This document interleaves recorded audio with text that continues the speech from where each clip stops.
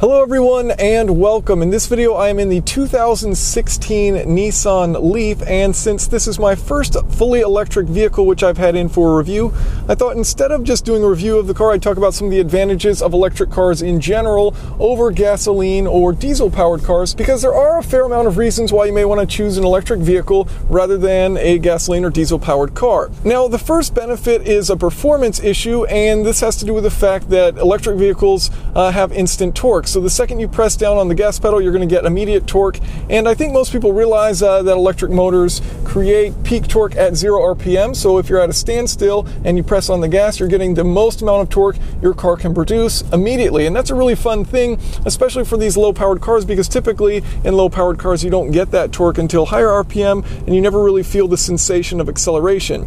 But one of the things I think people don't think about with that immediate torque at 0 RPM is how long you actually spend in the lower speeds. And so I take a 50 mile uh, approximately uh, fuel economy course, which I take all these vehicles in, and that's mostly highway. And yet, even though it's mostly highway, the majority of that drive, my average speed uh, is 35 to 40 miles an hour for that entire drive. So about half the time I'm spending under 35 miles an hour. And that's where an electric vehicle, you know, it's actually going to be fun to drive because it's got punchy acceleration. It's got all that torque immediately available the second you put your foot down, uh, which gives it, you know, it's fun like here I am at 30 miles an hour. I put my foot down and I could hear one of the tires start to spin. You're not going to get that in an economy car like and this has, you know, similar power to those, but it has all that torque down low. Now, number two is maintenance, and this is a big one. With an electric car, there's no engine oil change or oil filter, there's no engine air filter, and often there's no transmission fluid to change either. No spark plugs, no exhaust system, and in this Leaf, I haven't found anywhere in the owner's manual saying to flush the coolant system. The only required maintenance on this Leaf seems to be a tire rotation, cabin air filter change, and brake fluid change, as well as visual inspections, all of which apply to internal combustion cars as well. Really, your only wear items are your tires, wiper blades, and brake pads. And as far as the brake pads are concerned, most of your braking will be done by the electric motors, regenerating energy for the battery, so the brake pads will last significantly longer than non-hybrid gas cars. From a maintenance standpoint, there's really no question which technology is superior. And on the topic of batteries, most modern electric cars come with 8-year warranties guaranteeing sufficient battery life for those 8 years. Number 3, I want to talk about efficiency because it's kind of mind-blowing how much more efficient electric cars are versus internal combustion cars. I was reading a study out of Tribology International and according to that study, 33% of the energy in an internal combustion engine goes out the exhaust. A third of the energy created gone out the exhaust. So with an electric car, you're instantly eliminating that. You've got that 33% gain because you don't have an exhaust. You're not just sending out energy as heat out of a tailpipe. Now, according to the same study, electric cars also have 50% less frictional losses than internal combustion cars.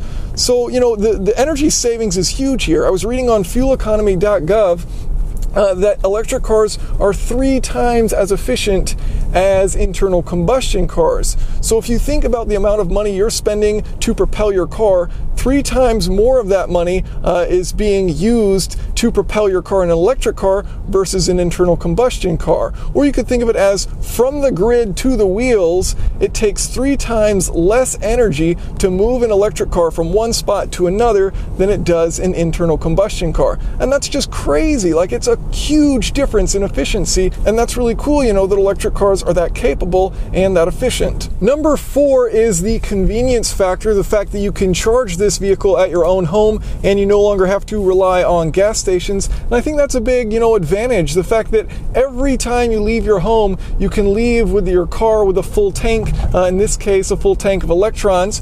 And so that's pretty cool. You know, you don't have to rely on gas stations. Uh, and oftentimes you can, you know, you can bring it to work and have free charging stations at your job. Uh, so then you're having your work foot the bill rather than you. And, you know, charging it at home, it's much cheaper overall than having to, you know, go to a gas station. And, you know, you have to depend on fluctuating gasoline prices versus electricity, which tends to be much more stable and much cheaper. So there's a huge convenience factor uh, in charging your car at your own home and not having to go to gas stations uh, for shorter distance trips.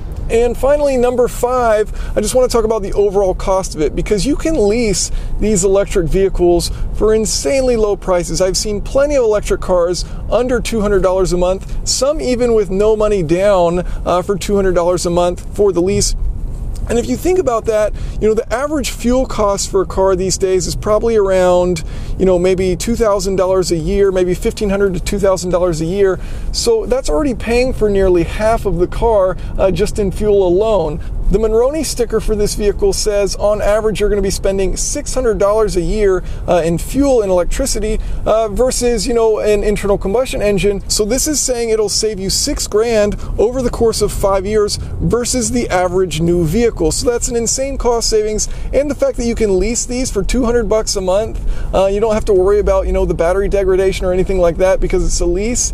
You know, you're getting uh, an absurd amount of value for an extremely low price. Uh, and in some some cases, it may be cheaper than the amount of gasoline that you're buying every month. Um, so, from a cost perspective, you know, you don't have the maintenance, the electricity is cheaper, and the lease is really cheap. So, electric vehicles can be had for a very low cost, and that's certainly a huge advantage to them. So, thank you guys for watching. If you have any questions or comments, feel free to leave them below. Now, in this case, you do actually have to uh, compensate for the lack of noise and give it your own wham no.